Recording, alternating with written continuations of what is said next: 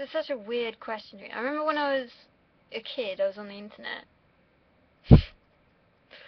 I was just talking to some guy. I wasn't a kid. I was like 14 or 15, and uh, I said I was from England. And he stopped talking to me because he said there's no black people in England, and he was black.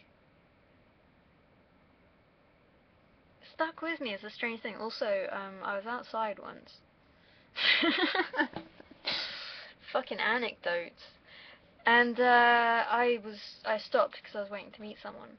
Just as these black guys walking by, and the black guy turned to me and said, "Fucking racist."